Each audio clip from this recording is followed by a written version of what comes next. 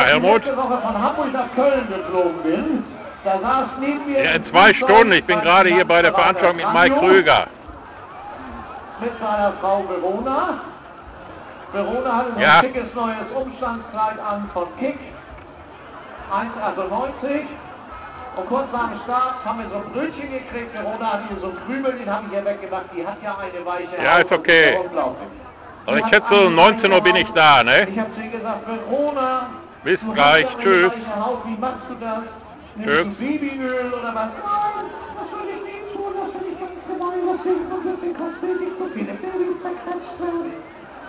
Verona kam gerade von der Talkshow. Da haben sie sich früher beschwert, dass ihr Bruder vier Schwestern hat und sie nur drei. Was will ich damit andeuten? Verona gehört zu dieser Garde von Frauen, die sich hauptsächlich dadurch auszeichnen, dass sie mal mit Dieter Bohlen zusammen waren. Vor Verona und nach Verona war Dieter zusammen mit Nadel, genau, ihr kennt euch aus. Mit Nadel, natürlich. Nadel und ich, wir kennen uns sehr gut. Wir haben denselben Arzt. Ah, ja, ich habe auch mal was an meiner Nase machen lassen. Ja, ja, hätte mal vorher sehen sollen. Ja, ja und Nadel ist dann mal zu dem Arzt gegangen, als sie ihren Busen so ein bisschen vergrößert haben wollte. Und da hat der Arzt gesagt, überhaupt gar kein Problem. Sie sind doch bestimmt privat versichert. Hat dann gesagt, natürlich.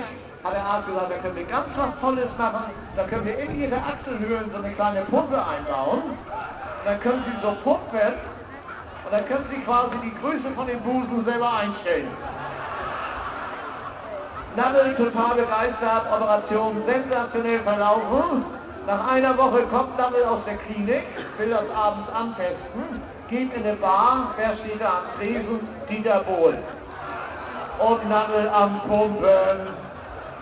Und Dieter steht ganz cool am Tresen, sagt, na Nadel, auch privat versichert?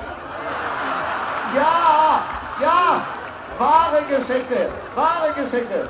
Leute, wir kommen, wir kommen zu meinem absoluten Lieblingsthema, zur deutschen Oldie-Hitparade.